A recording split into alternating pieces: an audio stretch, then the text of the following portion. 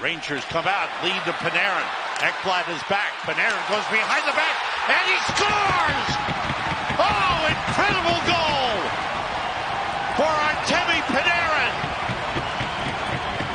as he beats his fellow Russian Sergei Bobrovsky to give the Rangers a 1-0 lead. Right up, right from the goal line all the way to Panarin, and then this little move, and then right through the legs. Through the legs, little backhand. He kind of missed the shot as Ekblad came back, put some pressure. Watch, he hardly got any of this.